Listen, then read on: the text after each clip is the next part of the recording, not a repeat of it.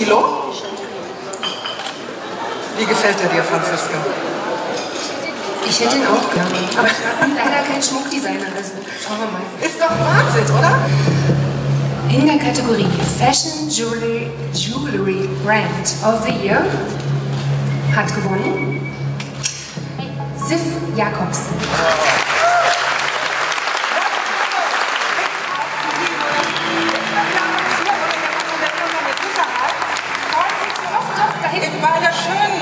Preisverleihung ist es immer so, dass die Gäste so lange applaudieren. Schneller! So, jetzt kommt erstmal die Begründung der Jury. I'm sorry, I have to do it in English. Uh, in German, I'm sorry.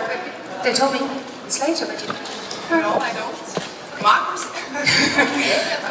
Okay, one, äh, ein Moment, äh, erstmal die äh, Begründung der Jury. Seit über 30 Jahren steht das Label für eine klare Formensprache und edle Materialien. Diesem Armreif aus rodiniertem Sterling Silber gelingt eine nahezu perfekte Symbiose mit, dem, mit der Zirconia im Baguette-Schliff. Er ist klassisch und ein wenig verspielt zugleich. And now you can translate it. Franziska? Das ist I can translate. Oh, is it? Okay, I, I take the word then. Thank you very much. Uh, I, I'm speaking on behalf of SIF now and in English, so you can uh, listen to my words.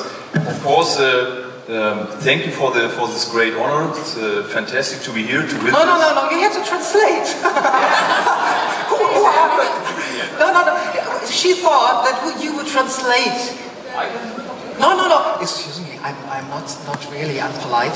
I only wanted to, to uh, spend some time for her um, answer now on stage. And first, you have to get the award. Now you're receiving the first award of the first award ceremony of the Inorgenta and Bionic. What will you write home about?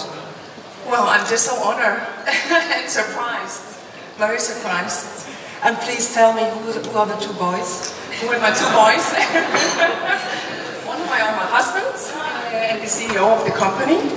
And our director in Germany, uh, Central Europe, uh, Markus Fink. So to all, a big applause and a big hand.